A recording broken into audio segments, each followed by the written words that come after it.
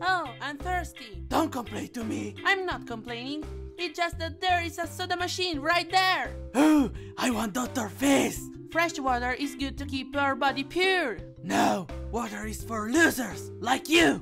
That isn't true. We need to keep our body pure. Water! Dr. Fizz.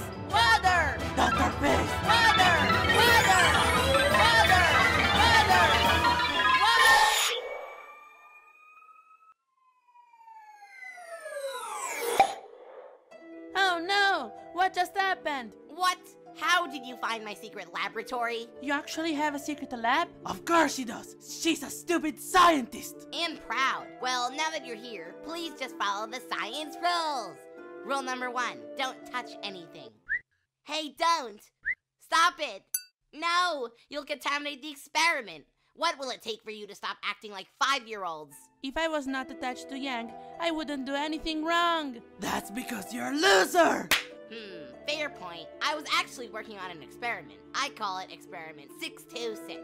What does it do? Well, our team would surely do better without your arguing. I was hoping it would split you into two different beings. That way you won't be attached anymore. Will it work? How should I know? I haven't tested it yet. But lucky for you, you get to be my test dummy. Yin's the real dummy. No, you! That's it!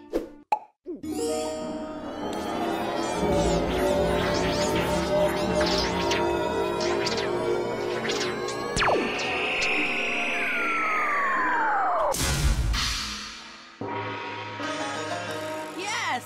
No, uh, I mean yes. Ah, it worked. Now you can just